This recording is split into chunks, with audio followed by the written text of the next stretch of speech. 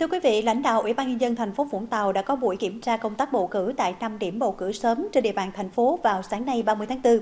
5 địa điểm tổ chức bầu cử sớm gồm sân bay Vũng Tàu, xí nghiệp vận tải biển và công tác lặn thuộc Liên doanh Dầu khí Việt Nga Vietropetro, Bộ Tư lệnh Vùng 2 Hải quân, Bộ Tư lệnh Vùng 3 Cảnh sát biển và Hải đoàn 129 Hải quân. Đến kiểm tra những điểm bầu cử sớm, lãnh đạo thành phố Vũng Tàu được nghe tổ bầu cử báo cáo danh sách ứng cử viên, danh sách cử tri hiện đã được niêm yết. Khu vực bỏ phiếu được bố trí trang trí đúng quy định. Công tác tuyên truyền về bầu cử cũng được tổ chức thường xuyên với nhiều hình thức. An ninh trật tự khu vực bỏ phiếu được đảm bảo.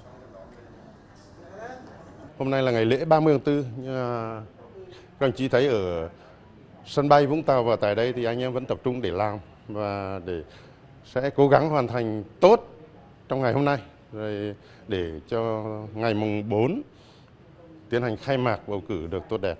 Đối với đơn vị, đơn vị đã tổ chức tập huấn cho cái tổ bầu cử và tổ phục vụ bầu cử và trang trí khánh tiết uh, ờ, trong và ngoài đơn vị, quán triệt uh, tuyên truyền cho các cử tri nhận thức về cái nhiệm vụ bầu cử cũng như quyền và nghĩa vụ của từng cử tri. Uh, đến nay thì à, cơ bản công tác ờ, phòng chống dịch cũng như là cái công tác chuẩn bị cho các cử tri đã sẵn sàng ờ, đứng ra bầu cử đúng sớm và được đúng ngày. Đến thời điểm này, hai tổ bầu cử của Liên doanh Dầu khí Việt Nga và Sopetro có 2.154 cử tri. Điểm bỏ phiếu ở Bộ Tư lệnh Vùng 2 Hải quân, Bộ Tư lệnh Vùng 3 Cảnh sát biển và Hải đoàn 129 có 1.021 cử tri. Các đơn vị vẫn đang cập nhật liên tục số liệu cử tri. Dự kiến vào ngày khai mạc 4 tháng 5 sẽ tăng khoảng 10%, chủ yếu là các lực lượng vũ trang. Qua kiểm tra, lãnh đạo Ủy ban nhân dân thành phố Vũng Tàu ghi nhận các tổ bầu cử đều tích cực chuẩn bị cho việc bầu cử sớm.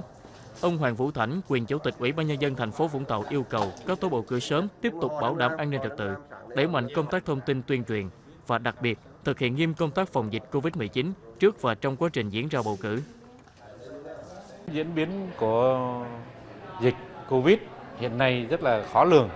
Do đó thì à, các đơn vị ở khu vực bầu cử Ờ, sớm và từ nay đến ngày 23 tháng 5 đều được phải lên một kịch bản hết sức cụ thể, chi tiết. Trong đó khuyến cáo trong việc sắp xếp một cái kế hoạch cụ thể rõ ràng để tránh trường hợp là ờ, cái số lượng người bầu dồn ờ, và sắp xếp một cách khoa học để đảm bảo cái khoảng cách cần thiết và thực hiện nghiêm công tác đo thân nhiệt, sát khuẩn, đeo khẩu trang theo đúng quy định.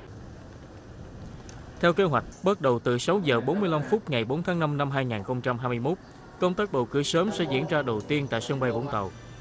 Đây cũng là điểm bỏ phiếu sớm nhất cả nước trong bầu cử đại biểu Quốc hội và Hội đồng Nhân dân các cấp nhiệm kỳ 2021-2026. Điểm bỏ phiếu sau đó là Bộ Tư lệnh Vùng 3 Cảnh sát biển. Ba điểm còn lại, xí nghiệp vận tải biển và công tác lặn, Bộ Tư lệnh Vùng 2 Hải quân và Hải đoàn 129 Hải quân sẽ bắt đầu bỏ phiếu lúc 7 giờ 30 phút ngày 4 tháng 5 năm 2021.